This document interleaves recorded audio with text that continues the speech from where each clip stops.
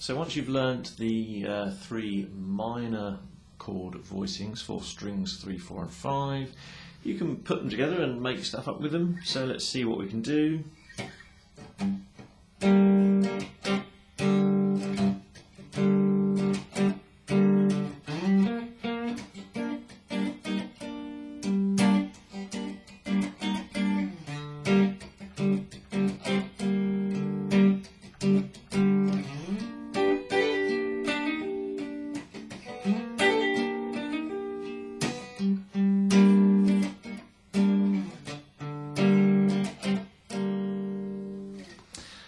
Um, so that that kind of works. Uh, you can just make up riffs. Um, obviously, we're not talking about any particular style. We're not even talking about a particular technique here. We could be using arpeggios or strums or um, or anything really.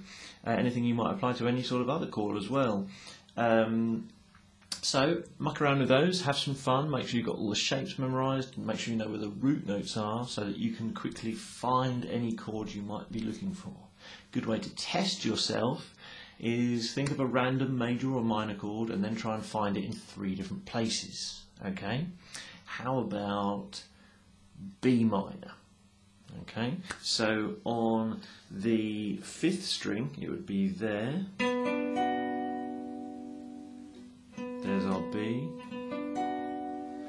Then on the fourth string, it would be here.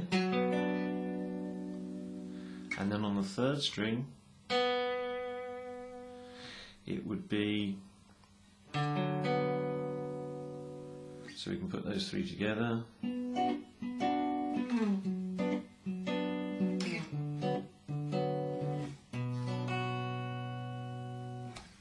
There you go.